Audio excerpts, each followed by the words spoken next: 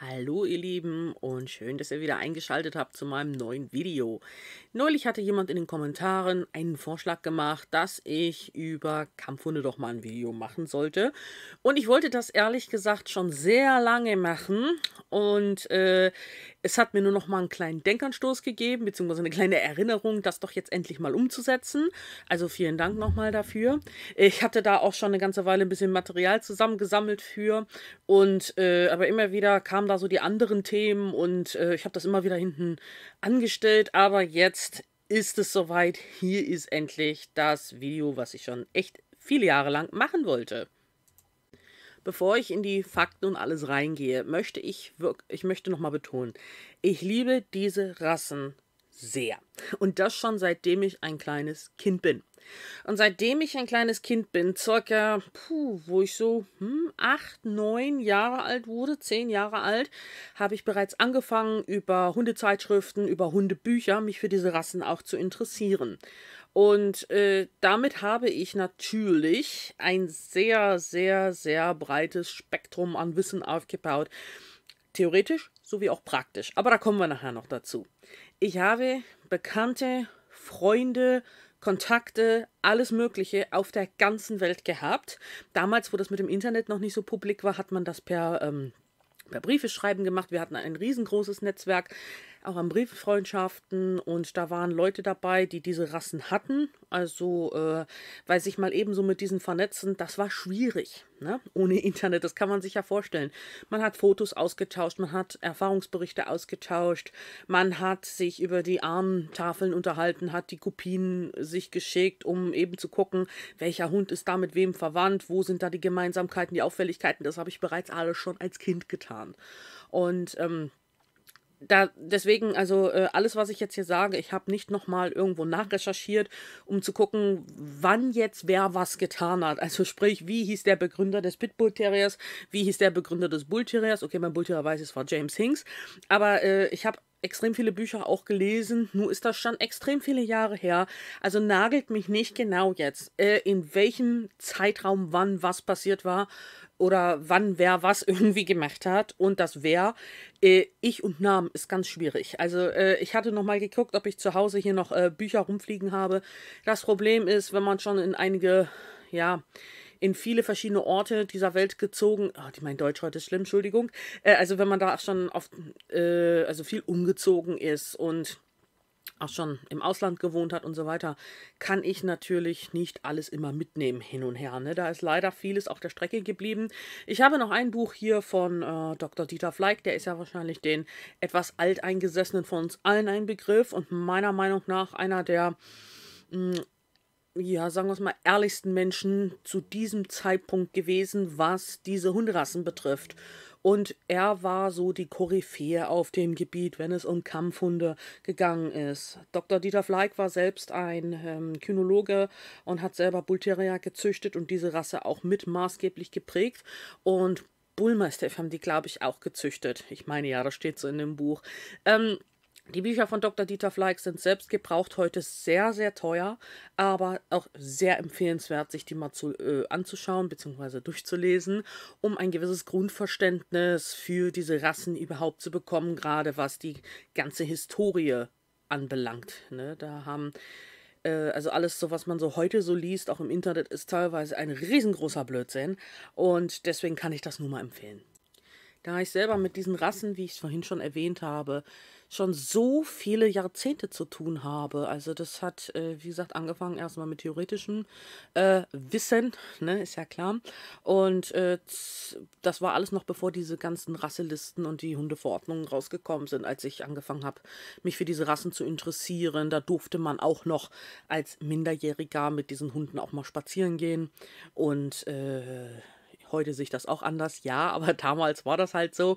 Und ja, man hat, ich habe die, ich bin öfters ins Tierheim gefahren und überall, wo ich einen Staffen Pitbull gesehen habe und am Bull Terrier, bin ich angehalten und habe, das war einfach, ja, Molosser, Pitbulls, Bullterrier, das ist auch so meine Welt. Das kann man gar nicht anders sagen. Und es hat sehr lange, na gut, bis ich 16 war, äh, gedauert, meine Eltern davon zu überzeugen, dass ich mir sowas ins Haus holen darf.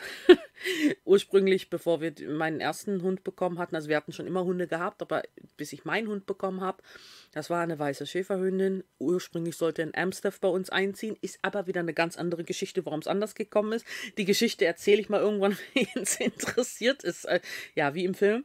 Und äh, ja, ich habe Hundeplätze besucht, ich war auf den Ausstellungen, ich war, äh, habe viele Züchter besucht, ich habe gezielt diese Züchter aufgesucht, die diese Hunderassen haben. Als American Bulldogs, Bull Terrier, Staffordshire Bull Terrier, Pitbulls ähm, und, und, und so weiter und wie die alle heißen, ja. Ich habe mich mit denen vernetzt, später, wo das mit dem Internet dann so langsam kam und so die ersten Webseiten kamen und so, so die Kontaktmöglichkeiten, konnte man mit den Züchtern auch noch, äh, ja, gut reden.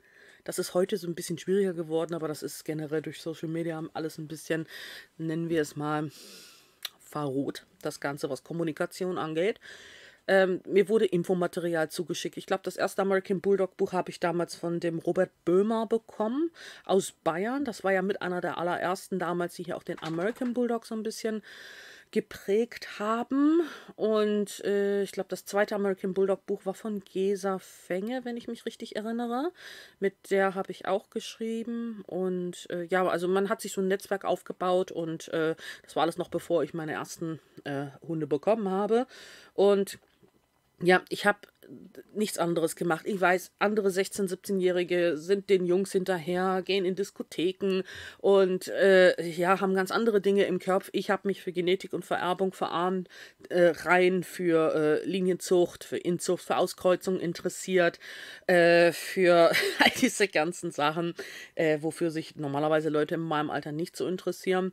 Und äh, ja, ich habe damals schon teilweise Leute beraten können zu ihren Hunden, auch wo ich noch minderjährig gewesen bin und die hatten auch erst, als sie mich nur so durch das Internet kannten oder mal so durch Telefon, nicht gedacht, dass ich noch so jung bin. Und das hat mir auch viel. Hm, heute würde das unter Mobbing fallen, äh, wo man dann in die, in die Foren gegangen ist und so weiter. Wenn ich das schon erzählt habe, was ich euch heute erzähle, wurde ich dafür damals ziemlich, ja, gemobbt. Äh, ich habe es so nicht empfunden weil so böse wie manche Leute sind, so habe ich damals noch nicht denken können. Und äh, ja, das, das war, da hatten die ein Problem mit, dass ich in meinem Alter ähm, ja, dahingehend schon so viel wusste. Aber ich kann ja nichts dafür, dass die meisten sich dazu entschließen, erstmal ein Haus zu bauen, eine Familie zu gründen. Und wenn die Kinder dann älter sind, dann erst anfangen, sich damit zu beschäftigen. Und ich habe das halt schon relativ früh gemacht. Das ist nur mal so eine kurze Einleitung, damit ihr verstehen könnt, warum das mich äh, ja mit dieser ganzen Thematik auch irgendwo betrifft. Ich habe das alles live damals noch mitbekommen, wie das alles ins Rollen gekommen ist, der Umschwung mit den Rasselisten und dieses ganze Chaos. Ich möchte es heute ein bisschen strukturierter mal aufführen und äh, ja ja, ich würde sagen, ich fange jetzt mal langsam an, weil um mich persönlich soll es eigentlich eher weniger gehen. Ich werde ein bisschen was einwerfen, also was meine persönlichen Erfahrungen sind, aber so im Großen und Ganzen versuche ich es ein bisschen strukturell zu halten. Fangen wir doch einfach mal beim Ursprung an, was ein ursprünglicher Kampfhund eigentlich war. Dazu möchte ich jetzt erst nochmal sagen, dass kein Kampfhund generell grundsätzlich zum Kampfhund erstmal gezüchtet wurde. Das waren erst Rattenfänger. Der Bull Terrier ist ja entstanden aus dem äh, English White Terrier. Äh, den gibt es aber mittlerweile nicht mehr, also schon seit einer ganzen Weile nicht mehr. Und äh, das, wie gesagt, waren Rattenfänger. Genau wie die Pitbulls, die Staffs. Damals war das noch ein Hund. Da gab es die Trennung noch nicht zwischen Pitbulls und Staffs. Und generell wurden diese, gerade diese Terrier-Rassen, die schnell waren und, und, und, äh, ja, äh, kräftig waren, äh, wurden für eben ja auch Dachse und äh, all dieses ganze Viechzeug, was man damals nicht im Haus haben wollte oder im Garten haben wollte, dafür wurden die ursprünglich alle mal gezüchtet. Es gab sogar ähm, ja den Pit, also die Pit damals, den nennen wir es mal den Ring, wo dann später die Hunde drin gekämpft haben, wurden da die Ratten reingelassen und die, der Hund, der in einer bestimmten Zeit so und so viele von den Viechern getötet hat, ja, der war dann halt irgendwann mal so der Champion. Das war der Ursprung vor allen diesen. Die wenigsten können sich das wahrscheinlich vorstellen, aber die englische Bulldogge war der Ursprung aller Kampfhunde. Das mag man sich heute kaum vorstellen, den englischen Bulldog so kennt, aber alle anderen Bull- und Terrierrassen sind aus der Bulldogge gezüchtet worden. Demnach hätte eigentlich, wo die Rasselisten rauskommen müssen, die englische Bulldogge auf Platz 1 stehen müssen bei Kampfhunden. Aber äh, das ist ja ein Witz. Wer die englische Bulldogge heute kennt. Zum damaligen Zeitpunkt aber war die englische Bulldogge im, im Wesen und auch im Körperbau eher so heute wie der Old English Bulldog, also was den Körperbau anging. Aber vom Wesen her waren die damals noch ganz anders drauf. Und hier möchte ich noch mal kurz einwerfen, wie sehr Genetik Einfluss hat. Ja? Da komme ich aber später dazu. Diese Hunderasse, die, äh, die Bulldogge generell, die wurden ja auch schon damals gezüchtet mit dem Vorbiss.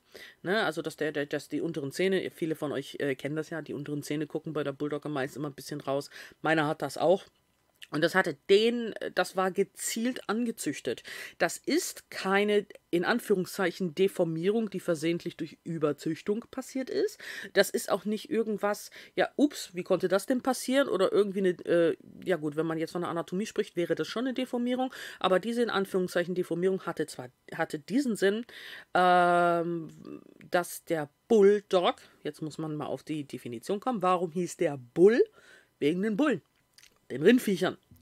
Die wurden damals noch an der Nase gepackt. Vielleicht kennen sich einige noch davon erinnern, dass es ganz früh so war, dass sie den Viechern einen Ring durch die Nase gezogen haben, wo sie die führen konnten, weil niemand kann sonst so einen, so einen, so einen Bullen oder so einen Ochsen irgendwie führen. Funktioniert nicht. Ja, und das ist die empfindlichste Stelle bei den Tieren. Und das wurde damals eben so gemacht. Ob das jetzt alles toll und richtig ist, das ist jetzt hier gar nicht das Thema. Aber die Bulldoggen wurden dafür eingesetzt, auch bevor es in den Hundekampf ging, diese Bullen zu treiben. Die brauchten eben damals nicht nur einen, einen, einen kräftigen Hund, sondern auch einen schnellen Hund. Die haben keine großen Hunde genommen wie die Doggen, weil die waren nicht so schnell und auch nicht wirklich so kräftig. Also die brauchten schon einen Hund, der ein bisschen ähm, ja, kräftiger und wendiger gewesen ist und ein bisschen schneller.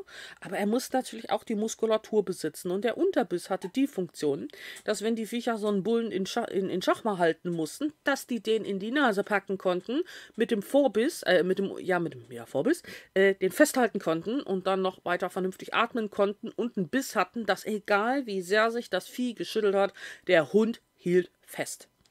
Und jeder, der diese Rassen mal erlebt hat, wenn die sich ineinander verbissen haben, der weiß ganz genau, wovon ich jetzt rede. Also kurze Zusammenfassung nochmal. Die Hunde wurden äh, dafür verwendet, um Ratten zu killen, um, um Mara, Dachse und so weiter äh, fernzuhalten. Äh, weniger wirklich jetzt als Wachhunde, also um irgendwie Menschen vom Grundstück fernzuhalten. Dafür hatten die damals immer ihre, schon ihre Hirtenhunde und ihre Mastiffs, also die Molosser.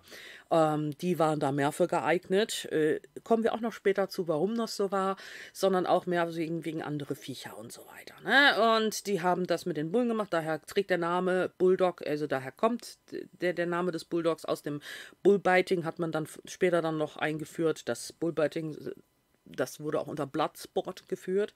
Also bitte, äh, ich muss manchmal ein bisschen noch überlegen zwischendurch. Ich habe es jetzt hier nicht irgendwo in einem Buch noch oder in irgendeinem Manuskript. Ich muss jetzt so ein bisschen aus dem Gedächtnis noch so ein bisschen erzählen, das, was ich alles noch so weiß. Also, äh, ne, Bullbiting Sports oder Bloodsports, wie das früher genannt wurde, da gab es dann auch ähm, zur Belustigung der insbesondere Unterschichten dann so ganz ekelhafte Sachen. Man kennt das ja auch aus dem alten Rom, ne, wo sie den Löwen die Zähne und die Krallen gezogen haben und die Menschen sollten dann, also die Gladiatoren, Bauern oder auch Sklaven gegen die Viecher kämpfen und so haben die sich da auch einen Spaß mitgemacht mit den, mit den Bulldoggen und den, ja, mit den, mit den eben, mit den, mit den Bullen oder so und so weiter. Und da ging das dann so langsam in die Richtung Kämpfen in der Pit. So, nun haben die sich natürlich so nach und nach äh, dann, man muss sich das mal so vorstellen, diese Idee, die kam man nicht mal eben über Nacht. Das ist mit den Menschen mitgewachsen. So, ne? Und äh, die hatten damals noch kein Fernsehen, die hatten damals ein anderes Verständnis für Tiere. Die meisten Menschen, die haben die Tiere oder auch die Hunde noch nicht so gesehen, wie die meisten das heute tun. Ob das besser oder schlechter ist, sei jetzt mal dahingestellt. Ich meine das jetzt noch nicht mal wertend. Selbstverständlich gab es vor tausenden von Jahren auch Leute, die genauso liebevoll mit ihren Hunden umgegangen sind, wie wir das heute tun. Obwohl, wenn man sich mal auf der Welt umguckt, äh, ist das auch an vielen Menschen vorbeigerauscht, ja. Wenn wir uns die ganzen Tierschutzfälle mal so angucken, äh, hat das wahrscheinlich, also mit hoher Wahrscheinlichkeit, nichts mit der Zeit als solcher zu tun, wie Menschen mit ihren Tieren umgehen. Und jedenfalls, die Leute, die haben dann irgendwann dann angefangen, okay, die Tiere, also die Hunde gegen diese äh, Viecher antreten zu lassen. Ich sage immer Viecher, das klingt so abwertend, aber ihr wisst, was ich meine. Und ja, und sie haben dabei festgestellt, was wirklich wichtig ist, wenn so ein Hund im Kampf ähm, was der überhaupt für Voraussetzungen mitbringen muss. Also ganz klar war natürlich Muskelmasse im Sinne, wie man das so heute von den Hunden kennt. Das kann man vergessen da sind die, die sind zu langsam damit, die sind nicht wendig genug. Also fing man an, die Hunde so zu züchten, dass sie ähm, feste, straffe Haut haben mit kurzem Fell. Weil da gibt es dann keine Hautfalten so richtig, wo man reinbeißen kann und wo die sich festhalten können. Und deswegen haben die Pitbulls und, also die Pitbulls insbesondere, diese ganz, ganz straffe, feine, dünne Haut. Also etwas, wo. Ähm, ja, wo man nicht so leicht reinbeißen und festhalten konnte. Das war einer der Gründe, warum die eben in die Richtung gegangen sind. Auch die ganze Anatomie, wie die Pitbulls dann in, äh, auch der Bull Terrier und der Amstaff, nur hatte man das damals alles noch nicht so genau abgegrenzt voneinander. Die Rassestandards, die kamen ja erst sehr viel später. Die haben erst einen Typus Hund, das hieß einfach Kampfhund oder einfach nur der Bulldog. Man hat sie früher, also auch im 18. Jahrhundert noch, einfach nur Bulldog genannt oder Pit Dog. Sowas zum Beispiel, ne? Und, äh, oder Bullbiter, ne? Äh, aber die, die, die genauen äh, Differenzierungen zwischen den einzelnen Rassen, die gab es zu dem Zeitpunkt noch nicht so wirklich. Das, das kam erst dann noch, ne?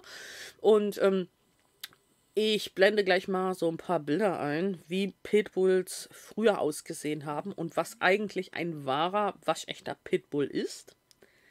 Das könnt ihr euch jetzt erstmal so ein bisschen auf den Fotos angucken. Und dann schaut euch jetzt mal die Bilder an. Ich habe nur kurz aus dem Internet mal so eine allgemeine Zusammenfassung gemacht, äh, also ähm, Screenshots von gemacht. Ähm, da geht es ja auch um ur urheberrechtliche Gründe und dies und das, so dass ihr das, also das kann man auch öffentlich alles in Google finden. Also nicht, dass ihr denkt, ich habe da jetzt Privatfotos oder irgendwie sowas veröffentlicht. Sind auch die einzigen Fotos, die nicht von mir sind, deswegen sage ich es jetzt vorab. Und was heute als Pitbull verkauft wird. Und dazwischen liegen Welten. Ihr braucht nur mal auf Instagram zu gehen, dort Pitbull eingeben. Ihr werdet so gut wie überhaupt keine Hunde finden, die irgendwas mit einem Original Pitbull zu tun haben. Ja, das sind grundsätzlich unterschiedliche Hunde, äh, die mit eigentlichem Pitbull, auch mit dem Wesen und mit der Anatomie überhaupt gar nichts mehr zu tun haben. Ne? Aber es war ja nicht nur der Pitbull. Der Pitbull hat sich entwickelt aus der Bulldogge selbst, mit Terrier-Einkreuzung rein, mit alten Terrierrassen, die es heute auch nicht mehr gibt, um da eben ja einen perfekten, nennen wir es mal, Gladiator von zu machen. Ne? Das hat ja auch einen Grund, warum Leute, die im Kampfsport tätig sind, dementsprechend so aussehen und welche Vorteile es hat, den und den Körperbau zu haben und nichts anderes halt ist das auch. Irgendwann dann die Hundekämpfe, die, das, das, das war ja auch ein, naja, da wurde viel, viel, viel, viel Geld mitgemacht. Und früher war das halt auch so, da haben die Unterschichten, äh, die Arbeiterklasse und so weiter, die haben da diese Hunde besessen. Das waren keine Hunde des Adels, wie zum Beispiel die deutsche Dogge, der irische Wolfshund und all diese Rassen. Diese ganzen Hunderassen gehörten tatsächlich der Arbeiterklasse und da merkt man das auch im Zuchtselektionsverfahren und auch, wie sich das Wesen dementsprechend gebildet hat, dieser Hunde, dass es da wirklich Unterschiede gibt, ja. Und äh, da kann ich auch nur den Film mal empfehlen, der ist von 1900, bah, müsste ich jetzt überlegen, 56, irgendwas um den Dreh 1955, 56. Der Film heißt It's a Dog's Life der Film ist super. Das war ein Film, das war der allererste Film, den ich gesehen habe, wo ich Fan von Bullterriern geworden bin. Da erzählt ein Bullterrier quasi seine Geschichte. Also der Film ist äh, ja, der Hund ist auch durch alles Mögliche durchgegangen und der Hund, wie gesagt, erzählt das aus seiner Perspektive. Und da wird das quasi alles mal so ein bisschen, ja, demonstriert. Ich meine, der Film ist nicht blutig, sie haben keine schlimmen Szenen gezeigt. Äh, super schön gemacht, sehr spannend, unterhaltsam und auch sehr lehrreich. Also kann ich nur empfehlen. Ich weiß nicht, ob es den heute noch irgendwo gibt. Vielleicht, wenn man mal bei Amazon gräbt oder sowas. Oder vielleicht hat den irgendjemand noch irgendwo auf der Festplatte. Ich glaube, ich habe den auf der Festplatte. Aber ich glaube, der ist kaputt. Ich frage meine Freundin, die hat den auf jeden Fall. ja. Irgendwann dann, als die Hundekämpfe dann Gott sei Dank, was heißt Gott sei Dank, das, ähm, die, äh, es hat ja die Kriminellen nicht davon abgehalten, weiterhin Hundekämpfe zu organisieren. Und das hat sich übrigens bis heute durchgezogen. Also wer immer noch glaubt, das existiert nicht mehr, äh, da kommen wir aber später dazu. Jedenfalls offiziell wurden die Hundekämpfe verboten. Das war 1910. oder ein bisschen davor, ich bin mir nicht mehr ganz sicher. Und dann ist das halt entstanden, dass die Hunderassen ja für die Show, zur Begleitung und so weiter gezüchtet wurden, weil die Rassen haben an sich tolle Eigenschaften, die äh, viele andere Hunderassen nicht haben. Das muss man mal dazu sagen. Äh, was so, deswegen sind diese Diskussionen um diese Rassen immer sehr kontrovers. Sie haben ähm, ja Wesenseigenarten, die sind loyal bis ins Mark. Da kenne ich andere Rassen, bei denen das nicht so ist. Aber es ist jetzt ein anderes Thema. Jedenfalls aber hat man gesagt, so, jetzt haben wir die Hunde, was können wir damit machen? Und äh, es fing, ging dann los, dass der Pitbull weiterhin rein auf Gameness gezüchtet wurde. Gameness bedeutet ähm, Arbeiten bis zur Selbstaufgabe, um es mal so plump zu übersetzen. Die Gameness in einem Pitbull ist tatsächlich der ähm, ein Pitbull-Halter damals aus diesem Pitbull Germany Shop, das ähm, werde ich nie vergessen. Das war, da gab es die D-Mark noch. Der hat mal zu mir gesagt, Gameless in einem Pitbull ist das, wenn der ein Loch gräbt und sich bis China ohne Pause durchgräbt. Und du fragst ihn, warum hast du denn das gemacht? Wird er dir sagen, keine Ahnung. Ich habe es einfach gemacht. Das ist Gameness. Bis zur Selbstaufgabe. Dafür wurden die gezüchtet. Das muss nichts mit Aggression zu tun haben. Diese Gameness, die kann auch im Hundesport eingesetzt werden. Aber die Halter, die sich diese Hunde anschaffen, die müssen wissen, was sie da an der Leine haben und was das überhaupt bedeutet. Und ich rede jetzt tatsächlich von alten Pitbull-Linien. Na? Nicht diesen ganzen neumodernischen, äh, äh, mit Molosser und Bulldog nochmal gekreuzten äh, Fettschwarten, die da rumlaufen. Das hat mit Pitbull überhaupt nichts zu tun, sondern eben mit den richtig alten Pits. Und davon gibt es sogar noch welche. Ich kenne auch jemanden, der noch welche hat. Und ich habe immer mal wieder in den letzten Jahren Leute kennengelernt, die vom alten Schlag noch Pits haben. Ja, in Deutschland natürlich ein bisschen schwierig, kommen wir später dazu, aber im Ausland ist das halt alles noch äh, kein Problem, also in den meisten Ländern. Ne?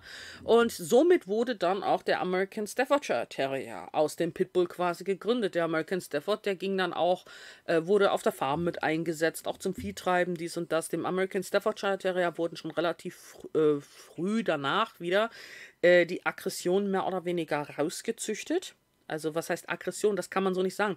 Äh, nennen wir das mal die Gameness. Die Gameness, die blieb beim Pitbull und der Amstaff, der ging in Richtung Farm- und Showhund. Und somit haben sich diese beiden Hundetypen aufgesplittet. Der American Staffordshire Terrier, der hatte einen äh, etwas äh, äh, ja, anderen Körperbau bekommen und der Pitbull, der blieb, äh, der, der ging ja, halt in eine andere Richtung. Ich werde Bilder einblenden, dann kann man das mal so ein bisschen sehen. Obwohl die meisten von euch, die das Video gucken, ihr wisst, wie ein Pit und wie ein Staff aussieht. das brauche ich euch gar nicht zu erklären. Mhm. Dieses Reinrassigkeitsfieber, so wie ich es nenne, ist in vielen Hunderassen ein Problem. Und äh, ja, im 19. Jahrhundert und davor war es immer noch gang und gäbe, dass gemixt und gekreuzt wurde, bis man sein Optimum dann eben dementsprechend zusammen hatte, wie man es haben wollte. Beim Pitbull, beim Staff ist es halt so, äh, da wurde auch schon mal der eingekreuzt, äh, der Staff als Pit verkauft und umgekehrt. Deswegen ist das wirklich sehr schwierig, da tatsächlich an alte reinerbige Linien, nennen wir es jetzt mal so, zu kommen. Ähm, ich weiß gar nicht, ob es diese Linien im eigentlichen Stil noch gibt, wenn überhaupt in USA und dann in einigen Bundesstaaten, weil in nicht wenigen Ländern ist ja auch die Zucht des Pitbulls verboten worden. Also äh, anhand der Ahntafel und Zuchtbücher sollte das ja rückzu äh, also sollte man das ja zurückverfolgen können. Ne? Aber jedenfalls der Pitbull, der blieb so ein bisschen in der Liga, Gameness, Sport und so weiter und auch weiter im Untergrund als Kampfhund tätig. Der Bullterrier, der ist auch vom Rattenfänger in die Kampfhundegeschichte. Na, ah, aufsteigen will ich es jetzt nicht nennen, ne? aber ist halt äh, ebenfalls Kampfhund gewesen, der Amstaff ebenfalls.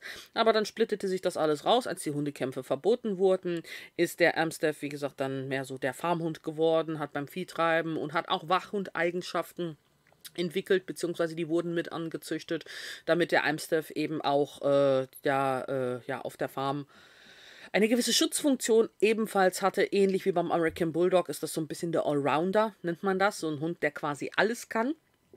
Muss man mal ganz klar so sagen. Ne? Und äh, der, der, der Bull Terrier, der ging mehr so in die Showgeschichte rein. Ne? Der Bullterrier, der hatte früher nicht so einen Papageienkopf, wie die das heute haben. Bullterrier hatten früher wirklich sehr, sehr schöne Köpfe.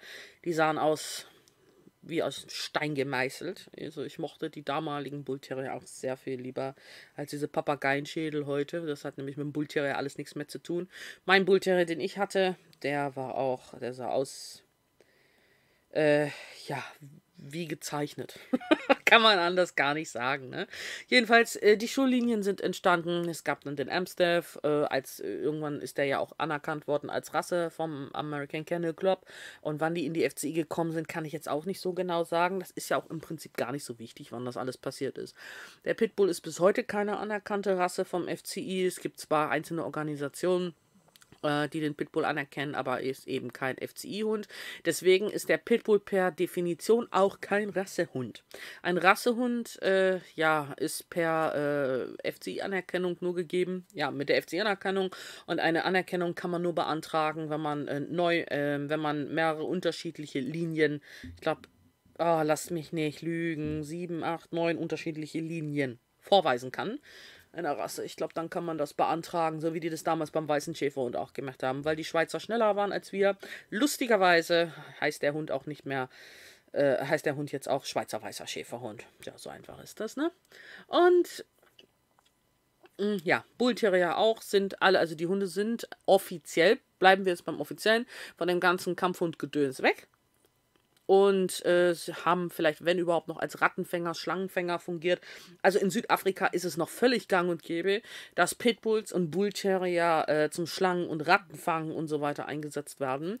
Und das machen die auch absolut hervorragend, weil kein, kaum eine andere Hunderasse, vielleicht noch der deutsche Jagdterrier und vereinzelt andere Terrierrassen, sind so wahnsinnig. Ähm, dass die im wahrsten Sinne des Wortes durchs Feuer gehen würden um äh, diese Viecher zu packen. Ne? Also deswegen verstehe ich immer nicht, warum Leute glauben, sie haben eine Hunderasse, die Jahrzehnte, Jahrhunderte lang auf diese Eigenschaften gezüchtet wurde und zu Hause soll er dann immer lieb dann mit den Meerschweinchen schmusen. Das ist immer so ein Ding, das ist, äh, ja, das ist so ein bisschen Walt Disney-Syndrom. Ne?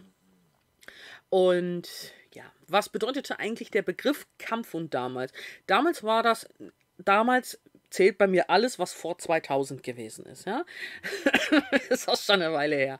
Äh, alles, was äh, ja nach Pitbull, äh, alles, was so Pitbull-artig aussah, war eben ein Kampfhund. Und keiner dieser Besitzer dieser Hunde hatte damals ein Problem mit der Begrifflichkeit. Das haben wir alle nur heute. Aber heute sind ja alle offended mit jedem Scheiß. Ne, heute fühlt sich ja jeder wegen irgendwas angegriffen, diskriminiert. Und äh, wir sind ja auch so eine, so eine Wortpolizei geworden, was absolut unnötig ist. Ähm, Damals war ein Kampf und Kampf und fertig. Ja. Heute ist das alles ein bisschen anders, komme ich aber später zu. Ne? Die Leute halt, die hatten damit kein Problem, wenn es hieß, das und das ist eben ein Kampfhund, weil die wussten alle ganz genau, dass man vor Staffs, Pits und Bullterriern als Mensch überhaupt gar keine Angst zu haben braucht. Und warum nicht? Weil diese Hunde auf bedingungslose Menschenfreundlichkeit gezüchtet wurden. Was ist bedingungslose Menschenfreundlichkeit?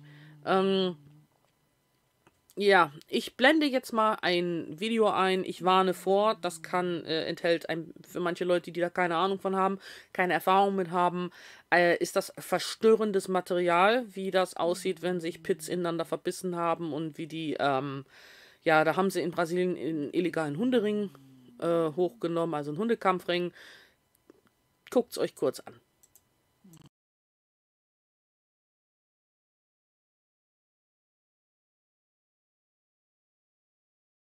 Komm mal her, komm mal her!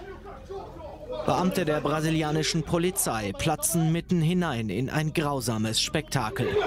Ein Hundekampf, organisiert für das perverse Vergnügen eines guten Dutzends Zuschauer vor Ort und für eine unbekannte Zahl von Online-Nutzern, die über das Internet ihre Wetten platzieren. Die Beamten finden insgesamt 19 Pitbulls. Einige tragen offene Wunden, viele sind vernarbt und unterernährt. Tiere, die zum Kampf nicht taugten, landeten offenbar direkt auf dem Grill. Die beteiligten Männer sollen einem internationalen Hundekampfring angehören. Neben Brasilianern werden ein Mexikaner, ein Peruaner und der Schiedsrichter des Kampfs aus den USA festgenommen. Fast alle sind gegen Kaution schon wieder auf freiem Fuß. Nur der mutmaßliche Organisator der Kämpfe sitzt noch in U-Haft. Welches Schicksal den geschundenen Tieren bevorsteht, ist nicht bekannt. Ihr habt also jetzt gesehen, wo die Polizei reinkam. Die Pits waren in der Pit gewesen und waren ineinander verbissen. Wir reden jetzt nicht von dem Zustand der Hunde und ob die, ob die auch unterernährt waren. Das ist jetzt erstmal, das ist jetzt erstmal irrelevant für dieses Thema. Ihr habt gesehen, diese Hunde haben nicht losgelassen und haben sich umgedreht und dann in ihrem, in ihrem, in ihrem Trieb die anderen Leute angefallen. Habt ihr das beobachten können? Nein. Und warum nicht? Weil das angezüchtet ist, das Verhalten. Und das ist ein erwünschtes Verhalten. Das bedeutet, die Hunde, die sich ineinander verbissen haben, das ist übrigens auch ein Verhalten, was angezüchtet und erwünscht ist und was nicht Folge einer unkontrollierten Aggression ist. Das hat damit überhaupt nichts zu tun. Das hat auch mit Aggression nichts zu tun, weil, die, wenn, weil diese Hunde ein anderes Kampfverhalten haben. Ja? Wenn sie sich erstmal in etwas verbissen haben, das macht nicht so viel Schaden wie viele Schäferhundrassen, die sich immer, ähm, ja, die mehrfach ankommen, beißen und reißen. Ja, das haben wir dahingestellt.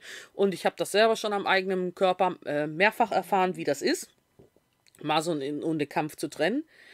Und wenn es keine Pitbulls oder Bulldoggen, äh, keine Pitbulls, wenn es keine Pitbulls oder Bullterrier oder sowas sind, muss man damit rechnen. Ähm, Gerade auch, äh, je nachdem, was für ein Kampf das gewesen ist, wodurch der entstanden ist und wer mit dabei ist, dass du auch mal dazwischen grätschen kannst. Gerade bei Molossern kann dir das immer mal passieren und so weiter. Das heißt aber nicht, dass die Hunde das beabsichtigend machen. Aber bleiben wir jetzt mal bei diesen Rassen. Ähm, die, äh, das, das war nicht erwünscht. Hunde, die in diesem Trieb also gerade wenn sich die Gayness, nennen wir es mal so, hochgeschaukelt hat bei diesen Hunden. Und da musste der Hundekampf getrennt werden, weil ganz, ganz früher war das noch unter den Anführungszeichen seriösen, ja, sofern man da irgendwas als Seriosität bezeichnen kann. Aber damals war das eben so, dass ähm, ein Hundekampf abgebrochen wurde, bevor der andere Hund äh, gestorben wäre oder bevor der so schwer verletzt wurde, dass, dass der an seinen Verletzungen elendig zugrunde gegangen ist. Also bei den, wo das noch offiziell war, gab es da Regeln. Im Untergrund sah das schon immer ein bisschen anders aus, aber damals war es dann halt so. Da mussten die Hunde dann eben getrennt werden und ein Hund durfte nicht an die Menschen, den Menschen beißen. Und das gibt es bei keinen anderen Hunderassen. Sowas gibt es nicht. Wenn Hunde sich in einen Kampf verstricken, dann sind die so voll mit, mit Adrenalin und, und die sind dann teilweise so in Raserei, dass die gar nicht mehr wissen, wen sie packen. Und bei diesen Hunden ist das nicht, weil da eben, ja, nennen wir es mal, genetisches, ein, ein genetisches System reingezüchtet wurde. Und daran erkennt man das. Und deswegen ist jeder Hund, der Menschen anfüllt, der als Pitbull bezeichnet wird oder als Death oder so, es ist keiner, weil das tun diese Hunde nicht. Reinrassige Hunde diesen Typus tun so etwas nicht. Da können ihr kennt diese ganzen Fälle von misshandelten Kampfhunden, die, äh, äh, denen die, die Schlimmstes angetan wurde. Die kannst du gegen die Wand klatschen. Da haben Leute Zigaretten drauf äh, ausgedrückt. Die haben ihre Hunde lebendig angezündet und die haben es überlebt und die kommen trotzdem wieder schwanzwedelnd und devot zu ihrem Menschen zurück. Das ist diese bedingungslose Menschenfreundlichkeit und das ist das, was in diese Rassen reingezüchtet wurde. Und das macht diese Hunde so attraktiv für eben Verbrecher. Die wissen das. Und das ist das riesige Problem gewesen, was wir insbesondere vor diesen Rasselisten gehabt haben, dass man diese Hunde wunderbar in Anführungszeichen misshandeln kann. Und die kommen trotzdem immer wieder zu dir zurück und, und sind treu ergeben. Also man konnte diese Eigenschaft auch missbräuchlich verwenden. Ne? Also, weil die Leute, die sagen ja immer, Mensch, aber ein Hund, der so misshandelt wird, der, der beißt doch mal irgendwann seinen Besitzer. Ja, nee, eben nicht. Und das ist das, was die Leute verstehen müssen, wie stark Genetik ist. Ich weiß, die Kynologen untereinander und die, also diese ganzen Hundeverhaltensforscher, die sagen, äh, dass Aggression nicht angeboren ist oder ähm, jein. Da kann ich aus Erfahrung ganz andere Sachen sagen. Ich kenne auch kaum Kynologen. Der einzige, den ich gekannt habe, war Dr. Dieter Fleig der das alles mal so zur Sprache gebracht hat, dass in bestimmten Rassen gewisse Eigenschaften vorhanden sind, die, wenn sie in falsche Hände gelangen, und das ist ja leider ziemlich oft vorgekommen, und wäre das nicht so oft vorgekommen, hätten wir die Probleme mit diesen ganzen Gesetzen nicht, ähm, ja, dass das schon mal unschön enden kann.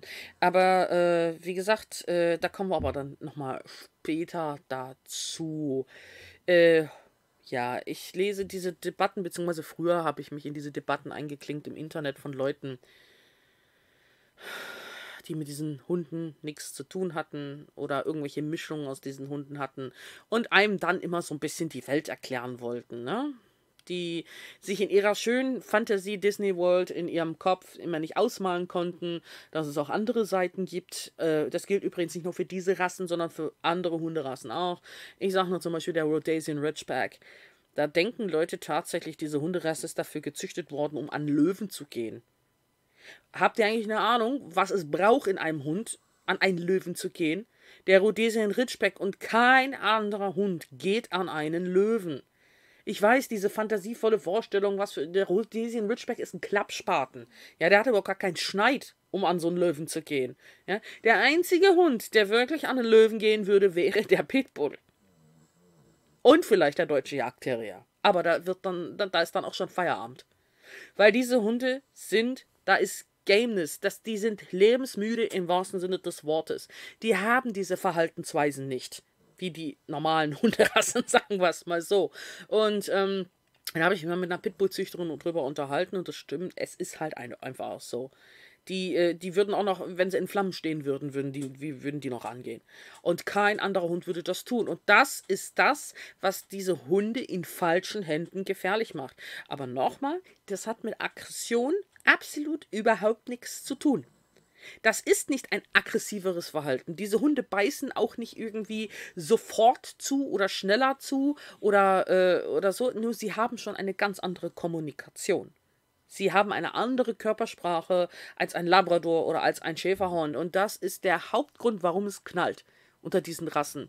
Weil ganz viele Leute, die ähm, heute heißen ja Listenhunde haben, äh, die haben überhaupt gar keine Ahnung, was die da an der Leine haben. Die holen sich diese, diese Rassen auch gerne über einen Tierschutzverein. Ich frage mich bis heute noch manchmal, unter welchen Kriterien sich die, die Tierschutzvereine diese Halter aussuchen oder wie überhaupt diese komischen Leute an diese Hunde kommen, ähm, weil der Import ja seit 2000 verboten ist für diese Rassen in ganz Deutschland. Und ich habe keine Ahnung. Die Zucht ist zwar schon seit ein paar Jahren wieder erlaubt für manche Rassen in manchen Bundesländern. Aber so dumm können auch die Züchter nicht sein, diese Hunde an derartige Idioten abzugeben. Verbeißen ist kein Anzeichen von gesteigerter Aggression oder mehr Gefährlichkeit. Woher das Verbeißen kommt, haben wir eben schon, äh, haben wir eben schon, ja, ich und mein anderes Ich, wir haben es eben schon, äh, jetzt bin ich schon wieder da, äh, ich habe es eben erklärt, woher das Verbeißen kommt. Wer damit nicht umgehen kann und keine Ahnung hat, was er tun soll, Finger weg von diesen Rassen. Und jetzt habe ich von diesen ganzen Schlaumeiern im Internet schon ganz oft gelesen, war auch mal ein Riesenthema äh, in einem Bull Terrier Forum, wo ich wirklich erschreckt war, äh, sprachlos war und teilweise Magenschmerzen hatte, was die Leute da glauben, an der Leine zu haben oder was die da zu Hause bei sich auf dem Sofa haben. Ich würde sagen, über 60 Prozent haben äh, geleugnet, dass es Verbeißen im Bull Terrier überhaupt gibt da habe ich nur noch mit der Hände über den Kopf zusammengeschlagen. Und äh, die anderen haben behauptet, das läge an der Erziehung und an der Sozialisierung. Mhm. Mhm. Interessant. Was eine, eine, eine. Manchmal kann man es einfach nicht fassen. Ne? Also die Leute, die neigen ja sehr zum Verdrängen. Und nur weil ihr Hund es noch nicht getan hat, Ne, glauben Sie, Sie machen Ihre Beziehung, äh, Ihre, ja, ihre, ihre Beziehung ist besser zum Hund, Ihre Erziehung ist besser und Sie haben den Hund einfach besser sozialisiert. Und ich kann zu drei Punkten sagen, nein, Schwachsinn. Das hat damit alles überhaupt nichts zu tun. Und nochmal, diese Art Kampfverhalten hat nichts damit zu tun, dass diese Hunde gefährlicher sind. Ja, sie sind nur anders. Und warum hat der Pitbull-Besitzer, der Ahnung hat, meistens immer einen Breaker mit im Rucksack? diese Leute, die kennen das schon, die kennen das in Anführungszeichen Problem. Ähm, ich möchte dazu sagen, nicht jeder Hund dieser Rasse hat dieses Verhalten, weil es gibt auch, äh, wie bei Jagdhunden, ach, es gibt Jagdhunde, die haben einfach keinen, die haben keinen Jagdtrieb. Soll es geben. Die haben dann aber auch nicht für die Jagd getaucht. In der Regel hat man die dann auch nicht mit in die Zucht eingesetzt. Und dasselbe ist bei diesen Hundenrassen auch. Ähm, in ganz, ganz perversen Schichten wo immer noch Hundekämpfe weiterhin durchgeführt wurden, wo ganz, ganz ekelhafte und furchtbare Methoden angewendet wurden, um die Hunde in Anführungszeichen scharf zu machen, obwohl man diese Hunde nicht scharf zu machen braucht. Das ist wieder eine ganz andere Geschichte. Ähm, da wurden, ja, da werden Methoden angewendet, die sind, die sind barbarisch. Ich glaube, noch nicht mal im alten Rom waren sie so drauf. Wie das, was, was diese Typen da machen. Ne? Das sind ja vorrangig Typen. Und, ähm, äh, ja, das äh, ist, ist, schon ziemlich krass. Und jedenfalls ein Breaker ist ein Stick, den, wenn die Hunde sich verbeißen, den schiebst du hinten einmal durch, durch, durch, durch den, durch, also durchs Maul, einmal so durch und hebelst den kurz wieder auf, weil in der Regel lassen die von alleine nicht los. Und ich gebe jetzt nochmal den 1 Million Dollar Tipp.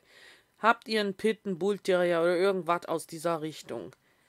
Draufschlagen, einen Eimer Wasser oder rumschreien oder auseinanderzerren zu versuchen, da macht ihr übrigens die Hunde mit kaputt, wenn sie ineinander verbissen haben, ist das so ziemlich dümmste, was ihr tun könnt. Ja. Und deswegen, die Leute sind immer völlig fix und fertig, wenn Tag, ich nenne das immer Tag X, bei ihnen eintritt. Ja. Und äh, warum es dazu kommt, dass die sich verbeißen, ja, aus welchen Gründen und wieso und überhaupt, ist ein anderes Thema. Da kommen wir dann später nochmal dazu. Ne? Und nochmal, dieses Verhalten dieser Hunde ist überwiegend linien- und nicht rasseabhängig. Das sind zwei ganz unterschiedliche Komponente. Weil auch wenn man. Hm, also man, man geht, man, man natürlich schüttet man erstmal alle über einen Kamm. Das muss man so machen, damit man eine gewisse Distanz und einen gewissen Respekt erstmal. Das sollte man aber bei jeder Hunderasse machen, auch bei dem Härtenschutz und gehst nicht davon aus, dass es ein Labrador ist. Und genauso muss man davon ausgehen, dass wenn man eben einen Pit, einen Staff oder einen Bull Terrier hat, äh, dass man da eben eventuell einen Hund hat, der mit anderen Hunden ein bisschen kitzlig sein könnte, ja. Und ähm, Dazu sei aber gesagt, dass es Hunde durchaus gibt, die in der Pit gekämpft haben, aktiv draußen auf der Straße mit fremden Hunden, die überhaupt gar keine Probleme haben. Und dieses Verhalten können ja auch viele Leute nicht verstehen. Die Kampfhunde, die in der Pit kämpfen, trefft ihr auf der Straße in der Regel ja nicht. Die kommen nicht raus zum Spazieren. Die leben auf den Grundstücken und die leben im Zwinger und die seht ihr nicht. Und deswegen kommen diese Leute immer darauf, es gäbe heute keine Kampfhunde mehr. Ja, selbstverständlich gibt es die. Ja, diese Leute sollten meiner Meinung nach solche Hunde nicht halten. Ne? Das sind absolute Realitätsverweigerer. Das ist, ich verstehe jeden Einzelnen, der diese Liebe zu diesen Hunden hat. Ich liebe auch Bullterrier über alles. Und ähm, ich finde Pits auch super und diese ganzen Rassen. Und ja, gut, ich kann mit denen umgehen. Und es ist auch nicht schwieriger oder komplizierter, mit diesen Rassen umzugehen. Oder dass man aus denen ganz völlig normalen, alltagstauglichen Hund machen kann. Unter bestimmten Regeln ja, ist das alles überhaupt kein Problem. Man muss es nur verstehen. Genauso wie muss, muss man, genauso wie man das verstehen muss, dass wenn du dir einen kaukasischen Off-Charker holst, dass der eventuell nicht mit dem Schwanz wedelt draußen auf dem Grundstück, wenn dein Besuch eintrudelt, den er vorher vielleicht noch nicht gesehen hat. Oder dass dein äh, Deutsch-Strata eventuell dir in den Teich springt und dir mal eine Ente bringt. Ne? Oder dass der dein Jack Russell mal mit einer Ratte im Maul ankommt. Oder dass der äh, Border Collie irgendwie anfängt, plötzlich deine Gänse auf dem Hof zu hüten. Oder wenn er keine Gänse hat, irgendwas anderes. Manchmal machen die das ja sogar mit kleinen Kindern. So, da, das ist immer alles völlig normal. Aber wenn diese Rassen dann eben, ja, ähm, das tun, wofür sie mir ganz ursprünglich für gezüchtet wurden, dann sind alle immer völlig aus dem Häuschen und glauben, sie hätten in der Erziehung was falsch gemacht oder haben den Hund von einem schlechten Züchter gekauft oder, oder, oder. Und damit muss ich mir mal fragen, die behaupten immer alle, sie hätten sich mit ihren Rassen beschäftigt, bevor sie sich die angeschafft haben. Aber das ist auch nur bla bla, das hat mit der Realität auch nichts zu tun.